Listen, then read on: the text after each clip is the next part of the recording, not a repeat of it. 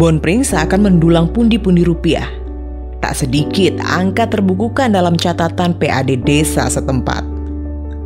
Secara profesional, desa mulai mendirikan badan usaha milik desa Bumdes Kertoro Harjo yang mengelola unit-unit usaha milik Sanan Kerto.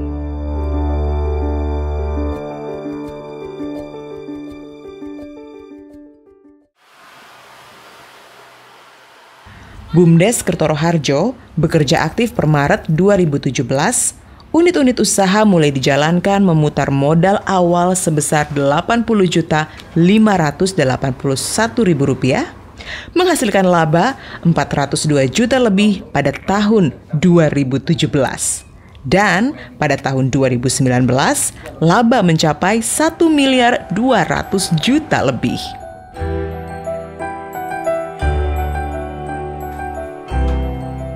Sebuah capaian prestasi yang tentu membanggakan bagi sebuah desa untuk dapat menuju kemandirian desa seutuhnya.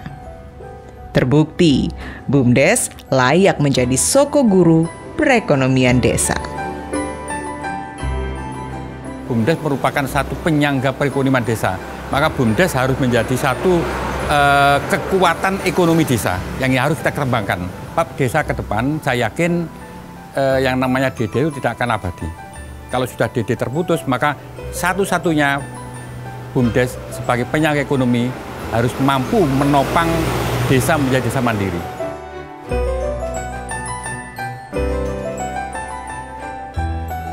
Keberadaan Bonpring menjadi donatur modal terbesar BUMDes Kertoro Harjo. Hingga kiprah BUMDes dapat menyentuh pemberdayaan warga desa, beragam bentuk bantuan berasal dari BUMDes ditujukan untuk penguatan SDM desa.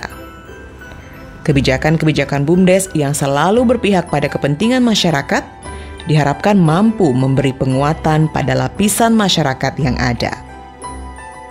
Nah, kemudian untuk membantu para pengrajin-pengrajin, termasuk ini salah satu unit usahanya BUMDes, yaitu berupa UKM. Nah, UKM ini bisa berupa kerajinan bambu. Itu pernah kami berikan penyertaan modal kepada kelompok-kelompok bambu itu sebesar waktu itu 60 juta, 6, 6 juta kepada kelompok untuk dibuat satu kegiatan plat, eh, pembuatan kerajinan baik itu tusuk sate maupun anyaman.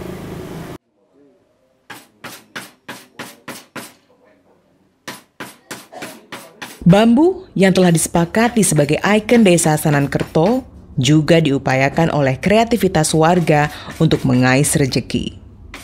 Keuletan warga desa guna menambah nilai ekonomi pada bilah-bilah bambu juga mendapat perhatian dari BUMDes berupa penyertaan modal. Harapannya dapat terbuka lebar peluang usaha berbasis ekonomi kreatif dari warga desa setempat. Ya setelah adanya Bonpring, yang jelas kerajinan saya, eh, karya-karya saya lebih dikenal lebih luas lagi. Dan tujuan ke depan saya ingin melibatkan untuk uh, masyarakat pemberdayaan untuk masyarakat luas yang jelas untuk meningkatkan ekonomi produktif ya seperti itu. Bambu yang tergarap ini bukanlah hasil dari penebangan di wilayah konservasi tempat naungan sumber mata air.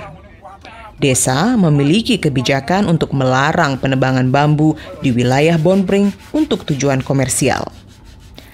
Bambu-bambu didatangkan dari desa tetangga untuk meramaikan lapak-lapak pedagang.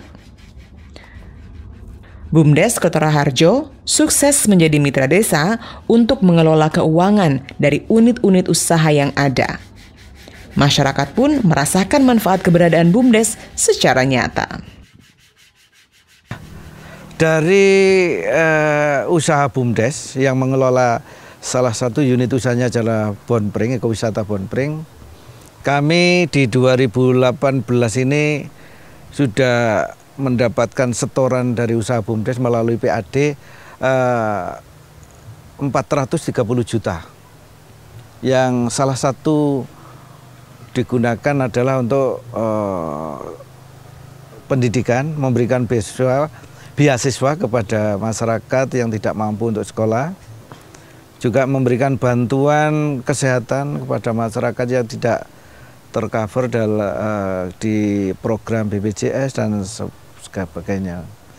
Juga kita bisa membantu masyarakat yang uh, merenovasi rumah yang tidak bisa dibantu oleh program RTLH itu.